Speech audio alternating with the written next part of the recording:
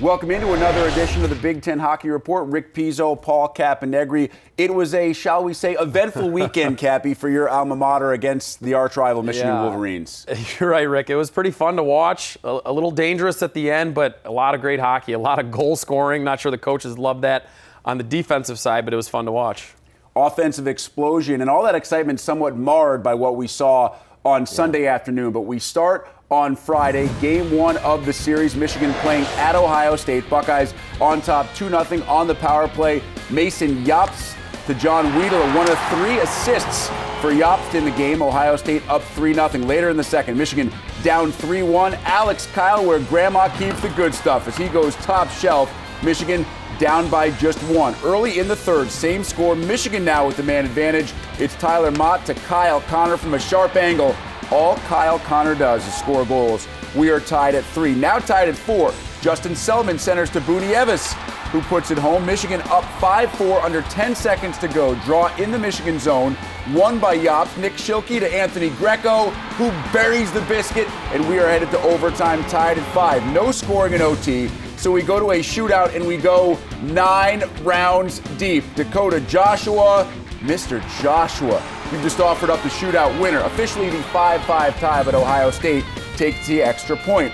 Game two of the weekend series Sunday at Yost. Michael Downing shot from the point, put home by Tyler Motte. Power play goal tying things up at five early in the third. Soon after, Kyle Connor forcing the turnover. He finds Motte. Motte would eventually score off the back of Maddie Tomkins. Michigan takes a 6 5 lead. Final seconds of the game. Ohio State in desperation mode. It's 8 6 Michigan. And as the final horn sounds, it gets ugly. All that emotion, all that physicality of two games plus worth of hockey boiling over. And this is what grabbed the nation's attention. Cutler Martin with the sucker punch through a referee at the end of the game. You knew suspensions would be handed out, and they were. Remember, any game DQ brings with it an automatic suspension for the following game. That happened to Cutler Martin, Dexter Dancs, Brandon Carney, Dakota Joshua. Now, Martin and Dancs got additional punishments. Dancs, one additional game. Martin, two additional games. They can count the January 21st game against the national under 18 team as one of those suspended games. So that means Dancs will also miss the January 28th game at Penn State. Martin will miss January 28th at Penn State, as well as the January 30th game against the Nittany Lions at Madison Square Garden. Your take on what went down at the end of Sunday's game, Cappy? Uh, you know, emotions go high. It's been a long weekend, a lot of goals, a lot of things back and forth. I'm sure there was a lot of talking. And you know, I can't say I never lost my emotion, but at some point you have to be able to harness that emotion.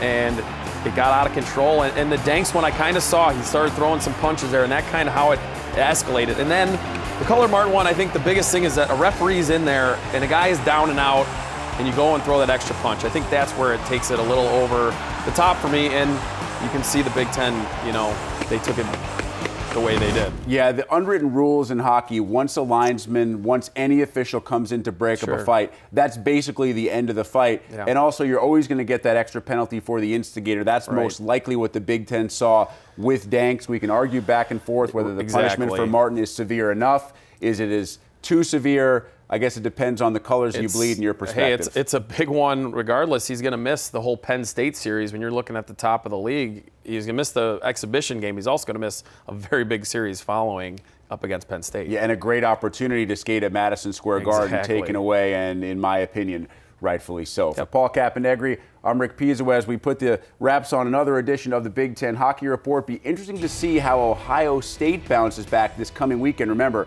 Buckeyes with a very tough series against Penn State.